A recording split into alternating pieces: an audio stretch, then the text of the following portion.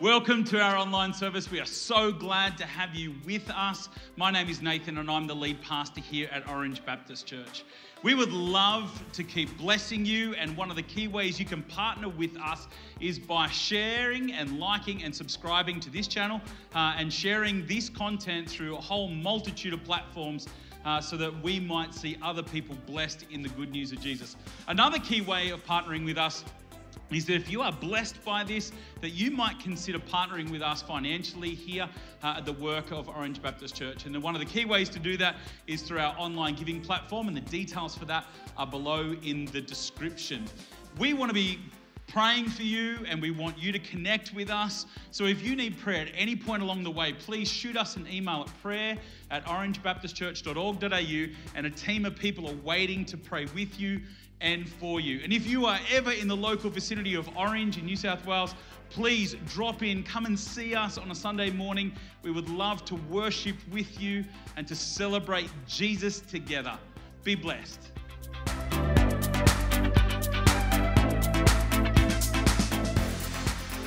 Father, we, we relate um, quite closely uh, with King David, who started by laying out his petitions before you uh, in his prayers.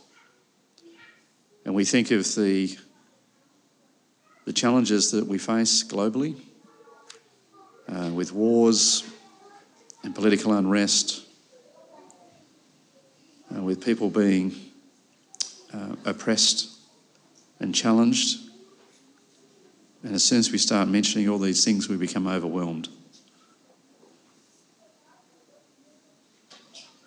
I thank you that in all these things, Lord, um, we can place them uh, in your hands and take them off our hearts and not be concerned uh, any further or anxious, but in fact can um, place our hope in you.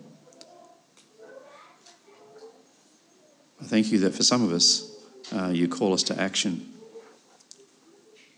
be that in giving or caring or sharing or putting people right uh, when they have um, wrong opinions about what's happening in the world. We recognise the brokenness of the world and we ask for your heart to be poured out into our hearts uh, so that we can reach out and touch uh, those around us. We think of the way that we are doing that through our, uh, our mission partners locally uh, in the Northern Territory and uh, overseas, in Thailand and Cambodia pray that through this connection, uh, we can give hope into those communities. Pray that as we think about the, these bigger problems, that you'll draw our heart to be praying specifically for each of those situations, uh, for growth and acceptance within the community in the Northern Territory, in Cambodia, for opportunities to heal and help, uh, particularly uh, women and those that have been caught in slavery help them to be able to grow their own food and build their own lives. For those in Thailand to hear your message and nearby countries as they serve there. So, this is how we can uh, contribute, Lord, and I pray that you would uh, drive that into our hearts uh, to be connected in those spaces. Close at home, we have people who are struggling illness and injury. We pray that you will uh, bring rapid healing and recovery uh, and a heart that is at peace about the healing process.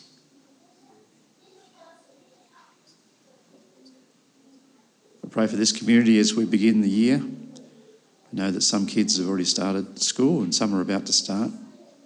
And that puts stress onto families, and I pray that that stress might be put aside as we contemplate uh, your hand in the midst of all of this big story uh, that is our lives.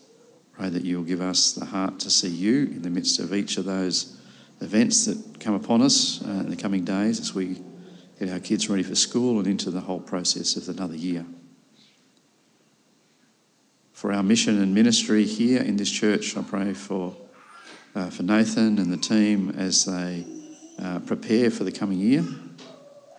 May you bless them uh, with inspiration uh, to draw us close to you so that we can show you to the community in which we live. Open our hearts and minds to this message, Lord. Pray for Gary as he brings his message to us today that we can uh, see your heart in the message that he brings to us. Amen. Our Bible reading this morning is from Deuteronomy chapter 32, verses 3 and 4. I will proclaim the name of the Lord. O praise the greatness of our God. He is the rock, his works are perfect, and all his ways are just. A faithful God who does no wrong, upright and just is he. Earlier this week, when I was contemplating what the Lord would have me speak on today, and what he said to me was, just worship me. Just worship me. I want to compliment Cassie in your choice of worship songs today because they were beautiful.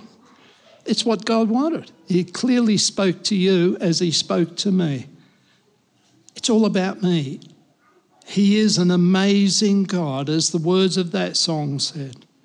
You know, we, we need to be reminded in this desperate world to ascribe greatness to our God, to move into Him even more than we have in the past, to hold His name up as the Holy One, to bless Him, to worship Him, to acknowledge Him. Oh, we need a God now. So, more than ever, we need that God of greatness. Deuteronomy 32 is called the Song of Moses. And it's not actually a song, it's, it's a poetic utterance. God told Moses to tell the people of Israel to worship me. And so Moses stood up before all of Israel and he proclaimed the words which are in the song, but uh, pretty well most of Deuteronomy 32. And after he had proclaimed the greatness of God, and after he had said to Israel, We are to worship this God and ascribe greatness to him, God spoke to Moses, and God said, now, I am going to take you up to Mount Nebo. And I want to take you up to Mount Nebo because I want you to see the land that I have promised to your people. This is the land of Canaan that I am giving to your people. But he said, I'm not giving it to you, for you shall die on Mount Nebo. Joshua will lead your people into Canaan and conquer it. Imagine being told that you are to go up the mountain and you would never come back again. What an awesome utterance from his God. But before he did that, chapter 33, he again called all of Israel before him. And he said to them, I want to bring a blessing from the Almighty God of greatness. I want to bless you. And so he uttered words of blessing to all of Israel.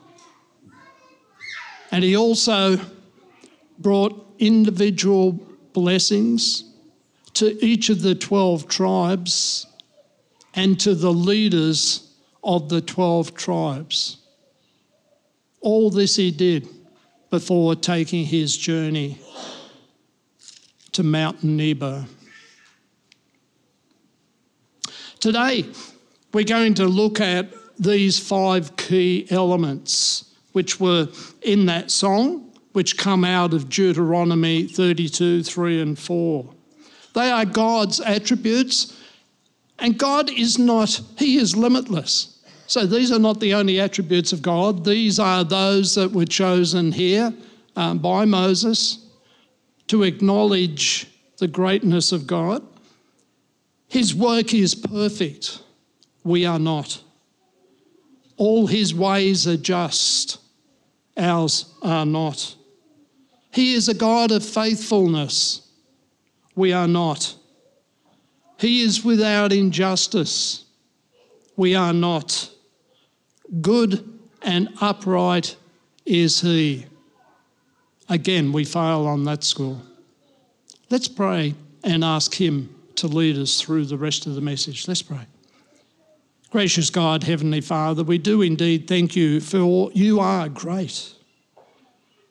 You are the creator of the earth, the universe, the many universes, all things.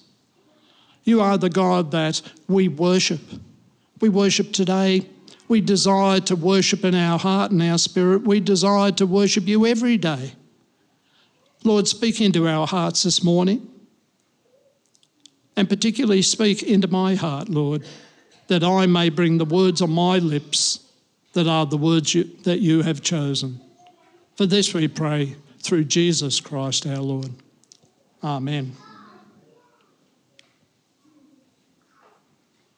Desmond Tutu was fairly well known in his day as Bishop of Johannesburg uh, and the Archbishop of Cape Town.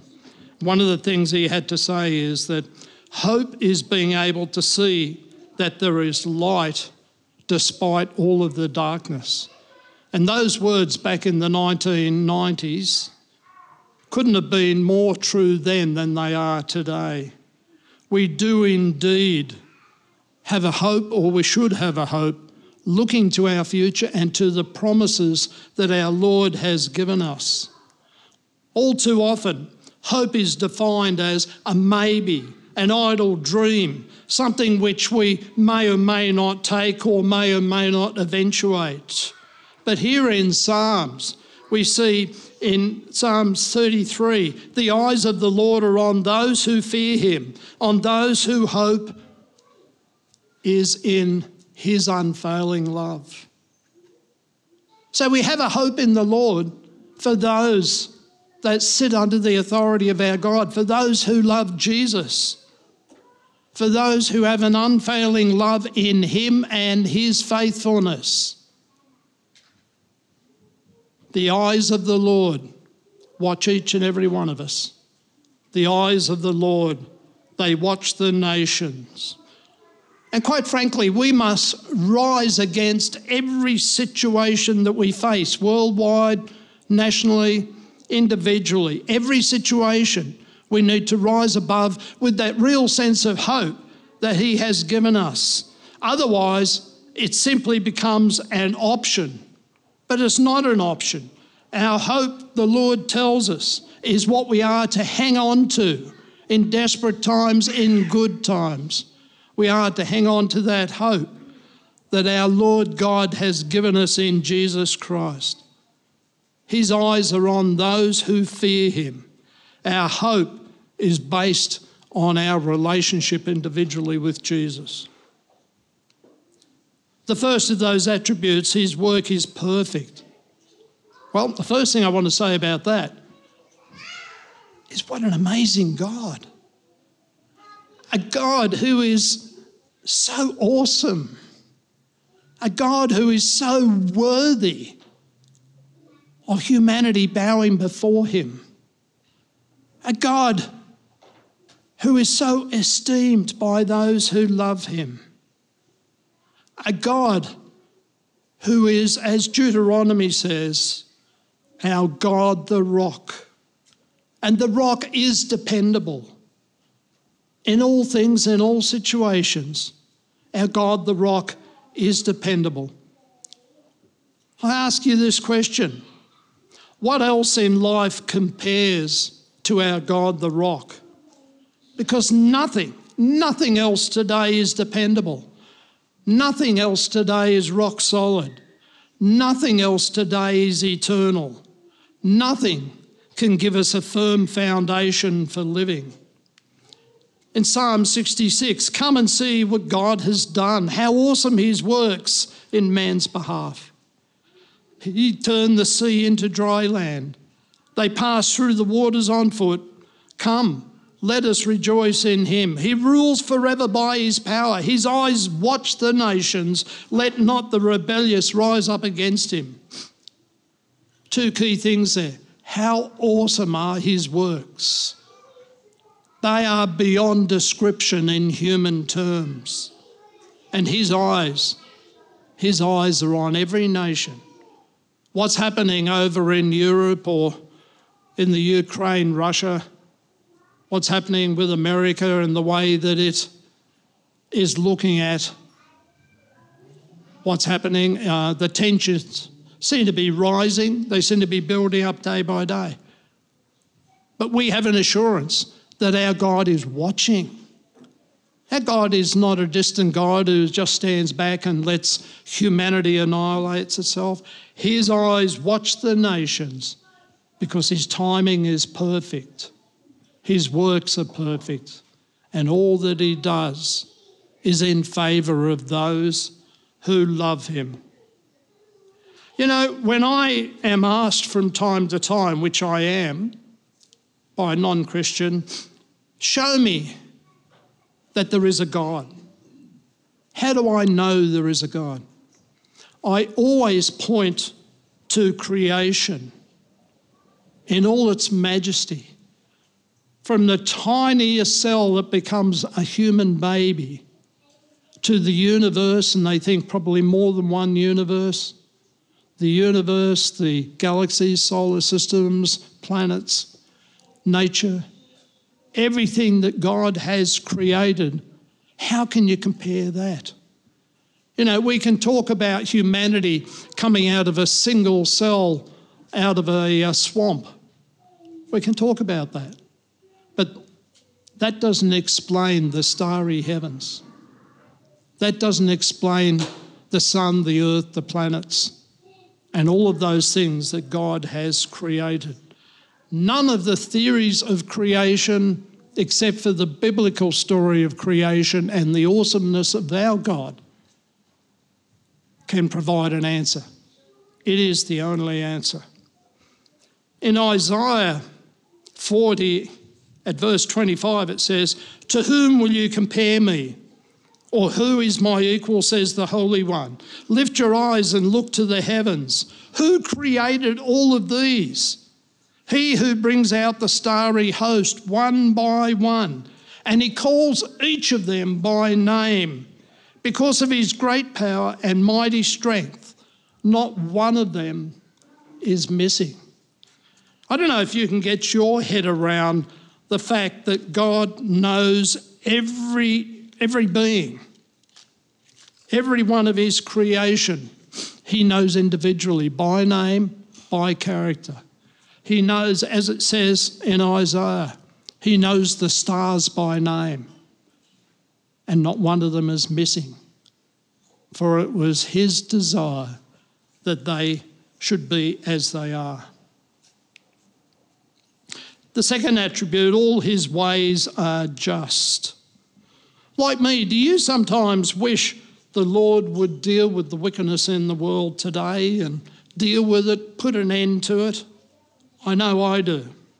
But we mustn't forget his promise that a time is of his choosing when he will bring true justice to the world. It's his choice, it's not my choice or what I want or hope for. It's what God has decided in the very beginning and decides today. Wilfred Peterson was an American author and a, a media commentator. He, he was back in the 1900s, 1900 to 1995, and this is what he said. The world needs less heat and more light. It needs less of the heat of anger, revenge, retaliation, and more light of ideas, faith, courage, aspiration, joy, love, and hope. That was written in the middle of last century somewhere. I haven't got a date when he wrote that, but about the middle of last century. And those words couldn't be more true then than they are today. Certainly, we need those things. We need to get rid of the heat of anger and, and, and meanness. You know, me, as in me, mine, what I want.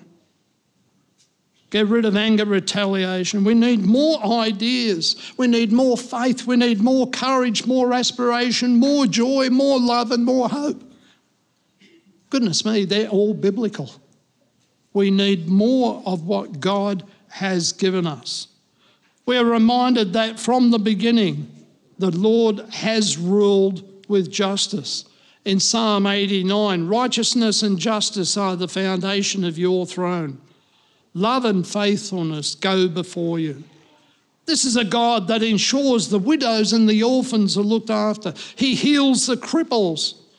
He blesses the fatherless. Why then does the world think his justice can be flaunted? Why do people think everyone, no matter what they do or who they are, has a right to go to heaven at the end of their life? But the Bible tells us only the righteous shall inherit eternal life. The third attribute is a God of faithfulness. Can there be any doubt that He is faithful in all that He does and in all that He tells us? That His love and His faithfulness is just as powerful today as it was in the time of Moses and before that. Psalm 100 For He is good and his love endures forever. His faithfulness continues through all generations. There it is, quite clear. The things of God, His love, His grace, His faithfulness, His greatness, they don't die with our forefathers. They are here today. They'll be here for our children tomorrow and our children's children because that's the God that we worship, our eternal Creator the one who loves us so dearly, the one who cares about us so much. But we live in a world today where truth and faithfulness in people is virtually absent. The popular media is particularly uh, potent in gotcha moments. The depths that popular media go to prove that someone is wrong or can't be trusted, that essentially erodes our trust. Four years ago, I was asked by a political party to stand in the state election in the seat of Orange, and I did that. But I've got to say to you, I am so glad now that I was not elected. I feel I can better remain true to my Lord where I am today. Because of his faithfulness, I am and you are ambassadors for Christ in all that we do. The fourth attribute, a God without injustice. Now, attribute two said all his ways are just. And you could say, isn't that saying the same as this is a God without injustice? But two was about his actions, it was about what he does. He always acts in a just way. And we see that in the actions of God to us to the people of the world. But this one is about the very nature of God, it's about who He is. He is a God of justice, He is a God that doesn't hold qualms against any person. He is just and He is able to rule as a judge because He is permanently a God of justice. He is always relating to us without injustice. And if that's true, then surely when He speaks to us or He communicates to us in such, uh, uh, in any way at all, He does that with absolute assurance of uh, for us that we are being treated fairly. We are being treated fairly by Him, even when we don't think we are. Have you ever said, well, you know, perhaps in other circumstances that might be true for me, but I've experienced times when I had doubts about something, only to realise later that yes, our Lord was absolutely right, I was not. I've had those times in my life. I thought I understood what His will was for me, and it wasn't. I didn't clearly, listen carefully enough to what he was saying. When we pray, he hears. when we pray and we ask for something, He answers prayer, every prayer, even a, a prayer, excuse me, when we don't seem to be able to see the answer. That is His answer. Number five, good and upright is He. Psalm 34 8 says, Taste and see that the Lord is good. Blessed is the one who takes refuge in him.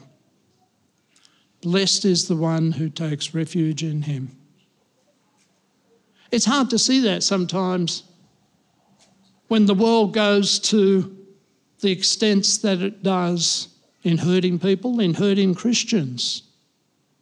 But God guarantees in His Word that we will be blessed as we take refuge, move in closer, if we, as we move into His heart and we allow His loving arms around us to forget everything else going on in the world except the arms of Jesus saying, It's okay, I'll look after you. Because I care for you, I love you, you are mine. Do you see the benefit for us from His goodness? That blessing as we move into Him. But are good and upright the same thing? But just quickly, the dictionary says good is desirable qualities and distinguishable qualities, ones you can see and ones that are good. But that's on human terms which humans decide what is good. Whilst it says uprightness is moral integrity, whoops, humanity fails on that one, doesn't it? Moral integrity. Uprightness also is complete honesty. Whoops, humanity misses on that one. Also, it's equity in principle. Equity in principle. That means uh, being just and fair. Doesn't necessarily mean making everyone the same as everyone else, as the world would have it. Being just and fair. Again, we fail that one. Because we have a Lord who is good and upright, we can rely on his faithfulness. The world ignores the source of moral integrity and honesty at its peril. We truly do need to ascribe greatness to our Lord. We need to ignore societal pressures to conform. Our standards and structures are being eroded every day. And Jesus gave us a warning about that, that such a time would come. And I'm going to finish with this reading. This is from Matthew 24, starting at verse 36. And these are the words of Jesus just warning us and telling us where we would end up in a time such as this. No one knows about that day or hour, not even the angels in heaven, nor the Son, but only the Father. As it was in the days of Noah, so it will be at the coming of the Son of Man. For in the days before the flood, people were eating, drinking, marrying, and giving in marriage up to the day Noah entered the ark, and then they knew nothing about what would happen until the flood came and took them away. That is how it will be at the coming of the Son of Man. Two men will be in the field, one will be taken, the other left. Two women will be grinding with a hand mill, one will be taken, the other left. Therefore, keep watch, because you do not know on what day our Lord will come. A truer word has not been uttered as we close this message. Let's pray. Gracious Lord, Heavenly Father, we give you thanks for your word. We give you thanks, Lord, that you are a Saviour who came to teach us about your word, that you are a Lord who has promised that you will be faithful and just and you will look after those who love you. Oh God, we just want to press into you today. We just want to press into you more and more. the louder the world gets, the more difficult things become.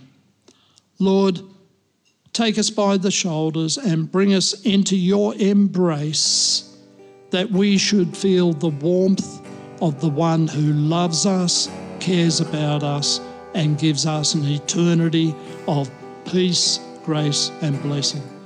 For this we pray through Jesus Christ our Lord.